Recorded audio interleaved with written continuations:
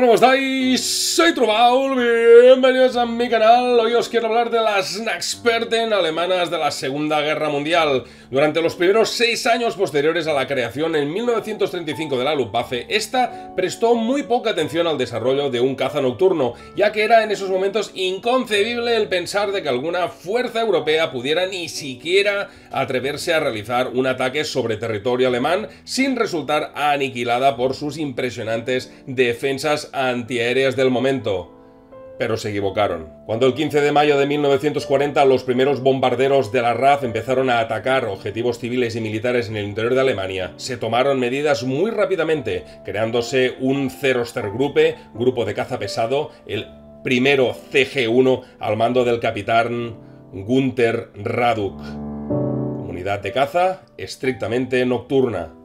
Esta unidad conseguiría muy pocos éxitos y el 20 de julio de 1940 Goering ordenó al coronel Joseph Kampfhauer crear una organización de defensa nocturna de cazas como Dios manda para contrarrestar los ataques continuos de la RAF en suelo alemán que cada vez eran más numerosos y mortíferos. Al finales de julio de 1940, la Nachverbahn 1 disponía ya de tres gruppen de los que el segundo grupo ya volaba con Junkers JU-88C al mando del capitán Karl Heise desde Hilzarrigen en los Países Bajos en operaciones de intrusión sobre las bases de bombarderos de la RAF de Inglaterra, consiguiendo un éxito más que considerable. Poco después y gracias a sus numerosos logros, esta unidad fue ampliada a una Gersbader completa. A mediados de 1941 y aún a riesgo de que alguien no me pueda creer, la fuerza alemana nocturna solo tenía en servicio un total de 5 Gruppen, de los que 4 estaban siendo equipados rápidamente con los bimotores Messerschmitt Bf-110 que ya estaban más que anticuados y sobrepasados en los combates diurnos contra los cazas británicos Spitfire y Hurricane. Entre tanto, Hauer había establecido una cadena de radares terrestres que se extendía desde la frontera suiza hasta el norte de Dinamarca, comprendiendo cada estación de radar una pareja de equipos Gian Walfurk,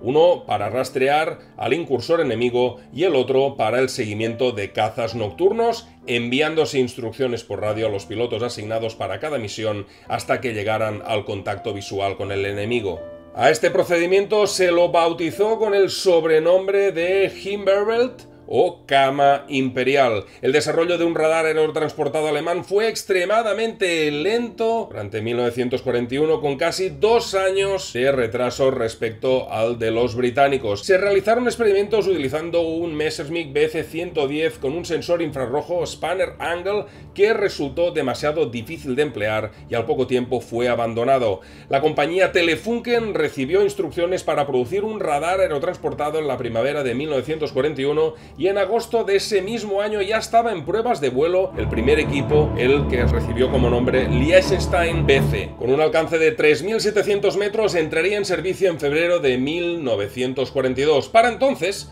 la fuerza de caza nocturna ya comprendía tres grandes grupos completos con cerca de 180 Messerschmitt Bf-110, 60 Junkers 88 y 20 Dorniers 217, de los que todos menos 28 estaban desplegados para defender el Reich de la creciente y peligrosa campaña de bombardeos que estaba haciendo la RAF. Los primeros equipos de radar eran tan livianos y difíciles de emplear que pocos aviadores de la caza nocturna pudieron conseguir buenos resultados con sus aviones, aunque hay notables excepciones como la del capitán Ludwig Becker del segundo grupo aéreo nocturno que confirmó 25 victorias con este lidiano equipo. El año 1942 fue un año entero dedicado a la formación en el que Sir Arthur Harris montó el primer ataque masivo sobre Alemania con más de mil bombarderos seleccionando a la ciudad de Colonia, Essen y Bremen como sus primeros objetivos. La introducción de esta gran ecuación de más de mil aparatos juntos entre Lancaster y de Havilland Mosquito hizo estragos entre las ciudades alemanas, ya que además por primera vez se utilizaría la grandiosa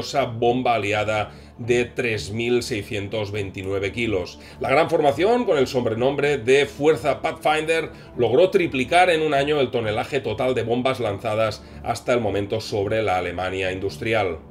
Enfrentada al terrible presagio de una destrucción absoluta y colapso en menos de un año, la Luftwaffe redobló los esfuerzos en lograr el objetivo de mejorar sus defensas nocturnas de manera inmediata. Y el primer paso para todo ello fue equipar todos sus aparatos con los radares Liechtenstein BC o como mínimo con el más simplificado FUG 211C1. Asimismo se introdujeron reformas en el sistema de información y control Kampfhauber, como os he contado hace un momentito, como el resultado de un incremento de los derribos de bombarderos británicos más que notable entre finales de 1942 y principios del 43. La introducción de la corriente de bombarderos dirigidas por tripulaciones Pathfinder experimentadas indudablemente mejoró la efectividad de los bombarderos de la RAF pero también contribuyó al incremento de pérdidas, ya que no tan solo se requería que los pilotos de la caza nocturna alemana se introdujeran entre las masas de bombarderos para conseguir multiplicar sus victorias, sino que encima es que volaran durante 24 horas. El mayor Helmut Lehn, comandante del cuarto grupo de caza nocturna, obtuvo su cincuenteava victoria el 8 de enero de 1943 durante una incursión tremenda de la RAF contra las industrias pesadas del Ruhr, convirtiéndose en el as de la Nachverbahn hasta ese momento. Mientras tanto, los bombarderos tipo Mosquito operaban casi sin obstáculos sobre el continente, ya que ningún caza nocturno poseía las prestaciones para ni siquiera acercársele a este soberbio y veloz bimotor británico. Pero el 15 de noviembre de 1942 voló por primera vez el prototipo del nuevo caza nocturno de la Luftwaffe y uno de mis 10 aviones preferidos de toda la historia de la aviación. Os estoy hablando del precioso Henkel HE 219U o la traducción búho.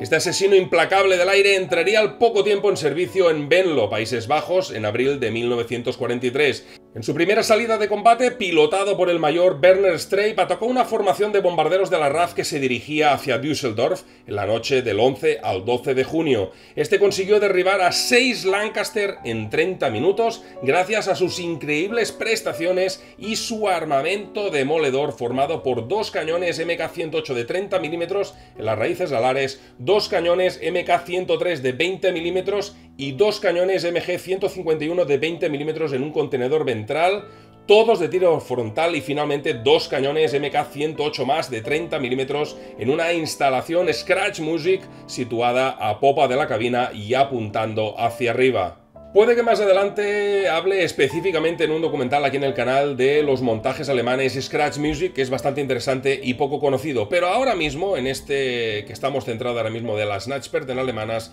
solo os puedo decir que según los informes alemanes, más del 80% de las pérdidas totales británicas de bombarderos mm, durante la noche fueron utilizando este sistema alemán de disparo hacia arriba y no con el clásico ataque por detrás del bombardero y disparando a las alas o a los motores, ya que los bombarderos británicos iban muy bien protegidos en popa y absolutamente nada por debajo, a diferencia de los B-17 estadounidenses. El uso del Scratch Music o Raffen requería una coordinación perfecta y grandes reflejos, ya que un bombardero muy dañado podía caer directamente encima del caza nocturno que lo había atacado, y si este no podía girar rápidamente en una maniobra evasiva, se lo comía. Y este es el caso del Henkel 219U, que era particularmente propenso a que le ocurriera esta clase de accidentes, ya que sus grandes alas le hacían ser torpe en este tipo de maniobras evasivas. Y de hecho esto mismo es lo que le acabó pasando a un tal Manfred Meurer cuando perdió la vida el noche del 21 de enero de 1944, cuando un bombardero Halifax que acababa de derribar se le vino encima de su Henkel 219 y partió en dos al aparato alemán. En ese momento no hubo supervivientes. Pensad que durante las primeras 10 noches en los que los Henkel 219 operaron en velo, sus pilotos destruyeron a 20 bombarderos británicos, incluyendo a 6 mosquitos, esos veloces aviones. Este fue el punto en el que el mando británico dijo basta y que ya no podía enfrentarse a las terribles pérdidas que venía sufriendo cada noche. Y decidieron incorporar de inmediato un nuevo sistema que no había sido ni probado, las tiras metálicas Window, las famosas tiras metálicas que lanzadas en grandes cantidades desde los bombarderos a medida que se acercaban a Alemania, saturaban las pantallas de los radares enemigos con miles de señales falsas o señalando posiciones donde ahí no había nada. Entonces los alemanes improvisaron una nueva táctica de combate y dividieron los ataques entre el control cercano y la auténtica caza libre. Pusieron nombre a este tipo de ataques como la cerda doméstica y la cerda salvaje. La primera consistía en dirigirse directamente sobre la dirección en la que se recibía la señal y una vez estaban los cazas en la zona se informaba de la posición real de los bombarderos y los atacaban lo mejor que podían.